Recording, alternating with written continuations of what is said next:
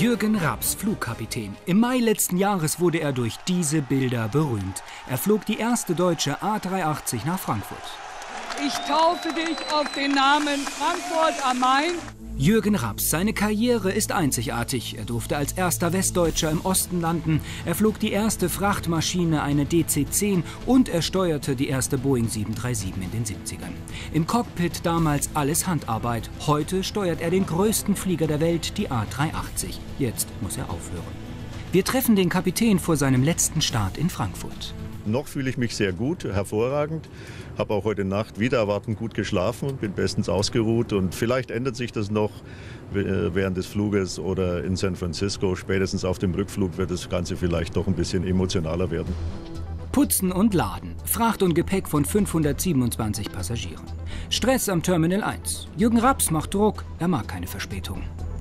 Ja, noch schöner auf meinem letzten Start in Frankfurt hier.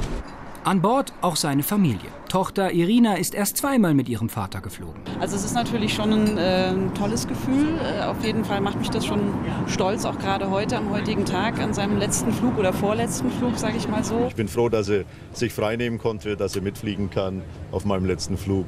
Ist ja nicht selbstverständlich, dass es ähm, die Arbeit erlaubt und die Beschäftigung erlaubt.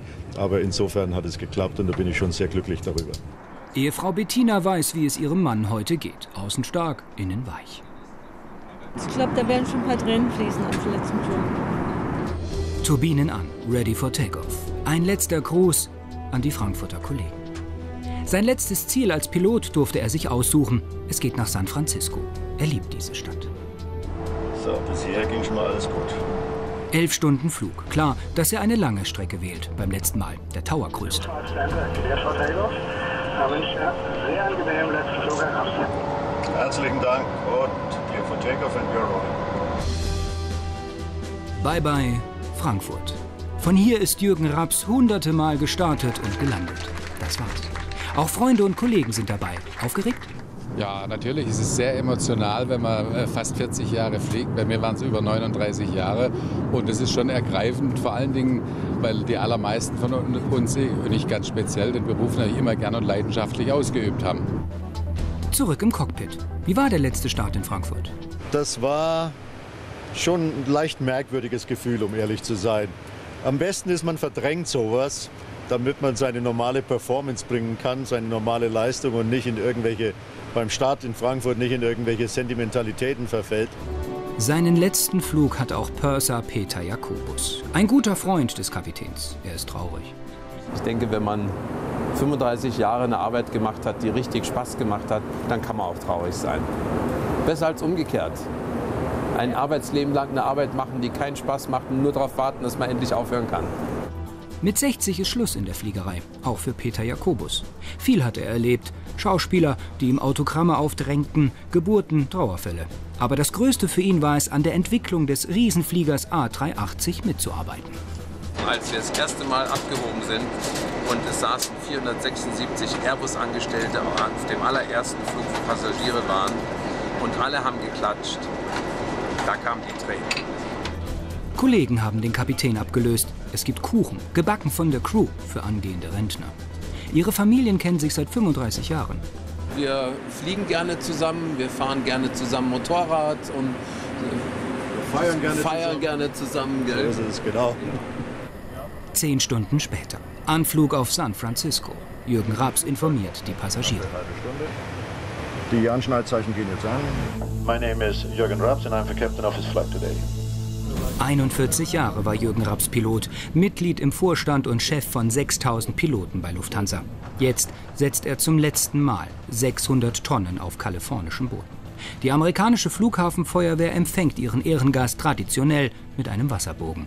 Den bekommen nur die ganz Großen zum Abschied. Ladies and gentlemen, please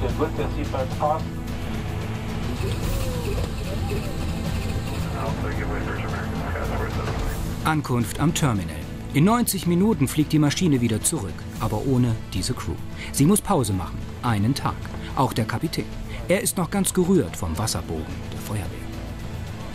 Das war eine Überraschung. Damit habe ich heute nicht gerechnet, ehrlich gesagt. Und die Überraschung ist gelungen. Wie war das, wie Sie durchgefahren sind? Kam dann doch was von Wehmut vielleicht ein bisschen? Ja, natürlich schon. Ne? Weil so ein Wasserbogen ist immer ein typisches Zeichen dafür, dass es jetzt wirklich langsam ernst wird. Soll heißen, noch einen Flug bis zur Rente. Vor dem Flughafen steht schon die erste Überraschung. Ein Geschenk der Kollegen aus San Francisco. Wehe, die Flaschen sind leer, wenn wir da ankommen. Stadtrundfahrt in der Luxuslimousine für ihn und seine Familie. Im Hotel Riesenempfang und das ist erst der Anfang. Übermorgen aber wird es ernst. Dann ist ihr letzter Flug. Sehen Sie morgen bei Main Tower.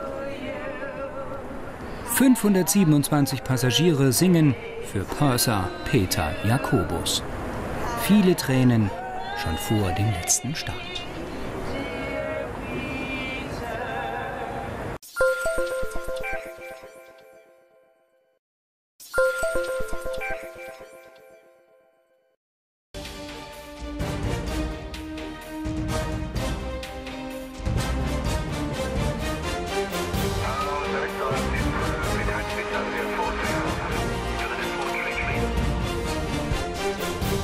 Pilot Jürgen Raps in einem Hotel in San Francisco. Heute ist sein letzter Flug, dann muss der 60-Jährige die Mütze an den Nagel hängen, in Rente gehen. Wie geht's?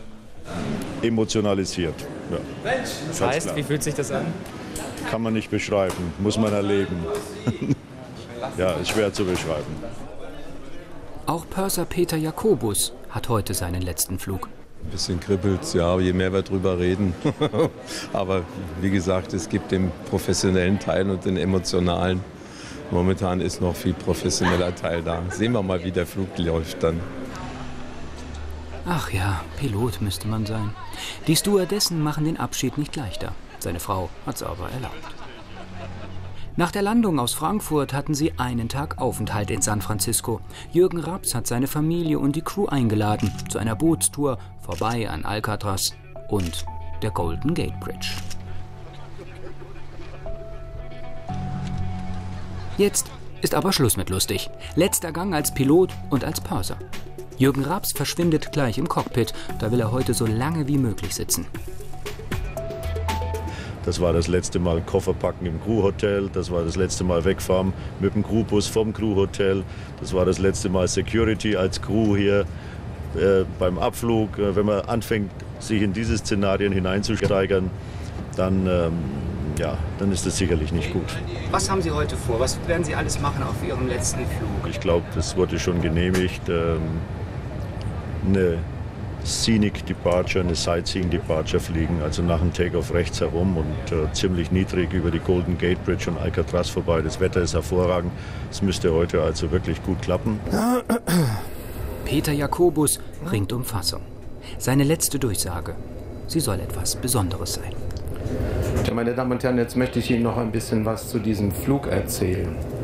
Er ist ein besonderer Flug, weil genau morgen vor 41 Jahren unser Kapitän Raps auf der Flugschule in Phoenix seine Karriere begonnen hat. Er hat viele, viele tausend Piloten ausgebildet. Er war Leiter der Flugschule, der Lufthansa-Flugschule in Phoenix. Es ist heute sein letzter Flug und äh, deswegen werden Sie erleben, nach dem Start, das hat sich so ein bisschen eingebürgert, wird er sich mit dem Flugzeug von diesem Flughafen verabschieden. Also wundern Sie sich nicht, wenn die Tragflächen nach dem Start mal nach links und nach rechts kippen. Das ist äh, gewollt und es ist auch sicher. Machen Sie sich keine Sorgen. Thank you for listening.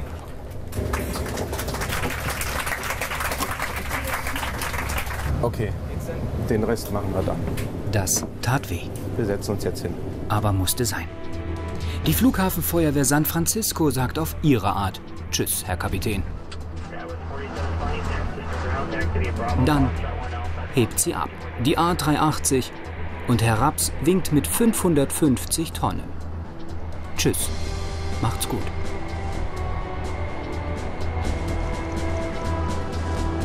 Der Tiefflug über San Francisco, die Erlaubnis, ein Geschenk der amerikanischen Flugsicherung. Ja, ja, ist schon ein bisschen emotional. Plötzlich greift Stewardess Helene zum Mikrofon. Bei unserem Purser, Herr Peter oh. heute auch seinen letzten Flug mit uns hat. Und noch ein ganz Special heute, es ist nicht nur sein letzter Flug, sondern nach deutscher Zeit hat er heute Geburtstag. Wir werden gleich ein Ständchen halten und würden uns freuen, sehr freuen, wenn Sie sich mit einstimmen und auf seinem letzten Flug noch ein Geburtstagsliedchen mit ihm trällern. Happy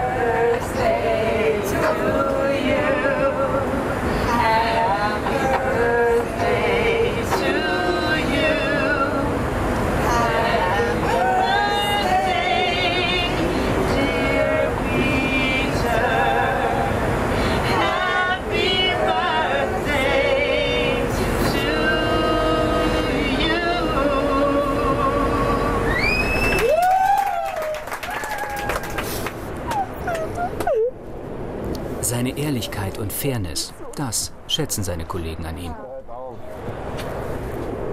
Oh, jetzt habe ich die voller Lippenstift. Auch Deutschlands wohl größte Stewardess, Kim. Da ist er hin und weg, der Peter. Von den Dramen nur einen Meter hinter ihm bekommt Captain Raps nichts mit. Er fliegt gedanklich gerade durch 41 Jahre Pilotenleben.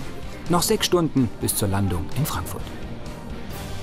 Sehen Sie morgen bei Main Tower Riesenempfang für Jürgen Raps in Frankfurt. Tränen und Jubel.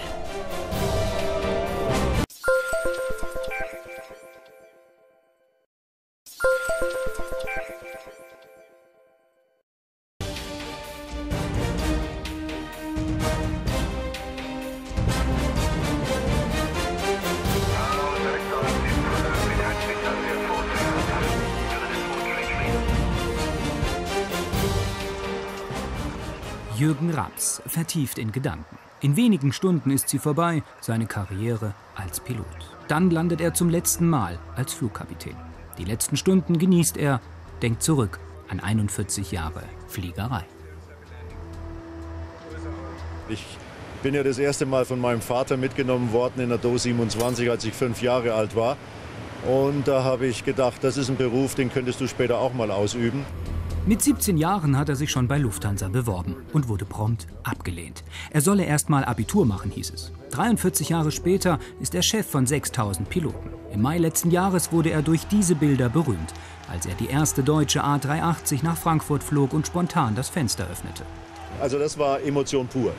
Als wir mit der 380 da in die Halle rein sind und diese Hunderte, wenn nicht Tausende von Menschen, die da drin waren, das war wirklich Emotion pur, was da abgelaufen ist. Noch fünf Stunden, dann ist alles vorbei. Sonnenuntergänge liebt er am meisten. Seinen letzten in 10.000 Metern Höhe will er in Ruhe genießen. Wir blicken derweil in die Kabine. Im größten Flugzeug der Welt arbeitet wohl Deutschlands längste Stewardess, Kim Cream, fast 1,90 Meter. Bis 1,92 Meter stellt die Airline ein. Am liebsten arbeitet sie in der Küche, da muss ich mich nicht so oft bücken, sagt sie. Ihr Kopf kennt fast jeden Flugzeugtyp, regelmäßig stößt sie irgendwo an. Also am Anfang bestimmt pro Flug 10, 15 Mal bestimmt. Und mittlerweile kennt man so die, Trip, die, die, die, die Kniffels, so die, die Tricks, wie man irgendwie sich so ein bisschen undercover duckt und so. Und dann funktioniert das ganz gut. Kim ist beliebt, vor allem wenn sie sitzt. Stehend macht sie ihren Kollegen schon mal Probleme.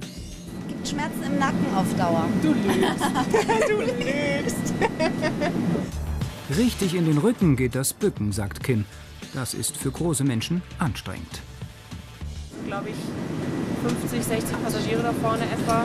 Das ist schon ordentlich. Geht mal nach Hause, sagt Schatz, ich brauche eine Massage. Was macht man nicht alles für den Traumjob?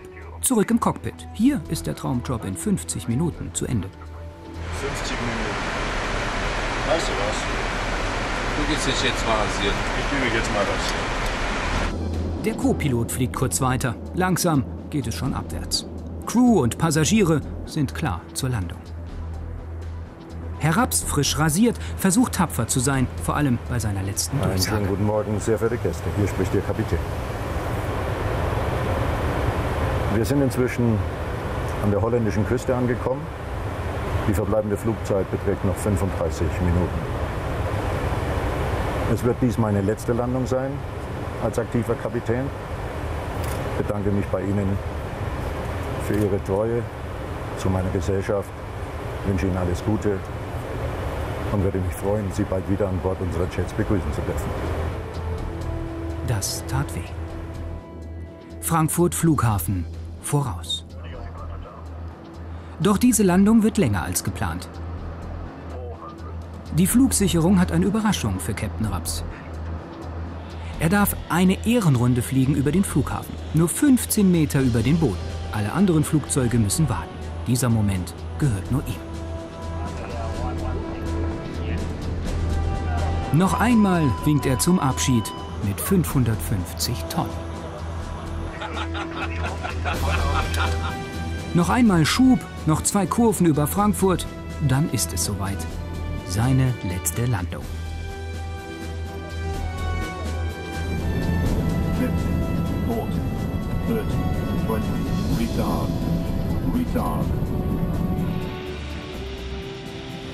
Butterweich setzt er den Giganten auf.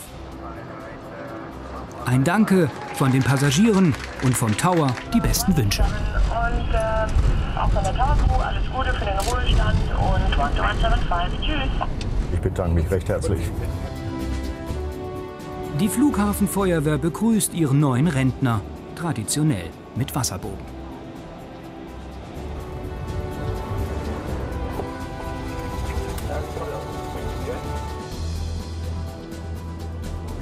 Die letzten Meter bis zum Ruhestand. Überall stehen Mitarbeiter und grüßen. So, das war's dann. Maschine steht. Kollegen kommen ins Cockpit. Guck mal, was da unten steht. Parking Checklist. Das gehört noch dazu. Der Co-Pilot, überwältigt von den Gefühlen, verliert seine Stimme.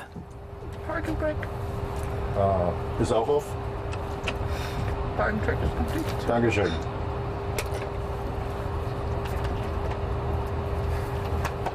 Alter. Robert, danke dir.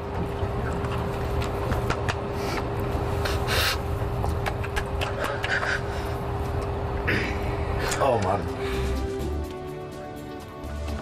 Auf dem Vorfeld wartet bereits die nächste Überraschung.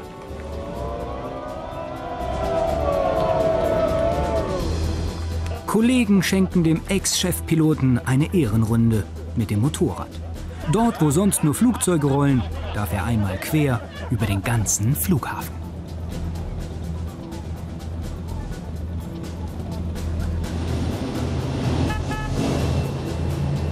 Heute wird gefeiert, dann möchte er mit Freunden eine Motorradtour machen und im Herbst mit der Ausbildung zum Hubschrauberpiloten beginnen. Ganz kann er es dann doch nicht lassen. Na dann, schönen Unruhestand heraps.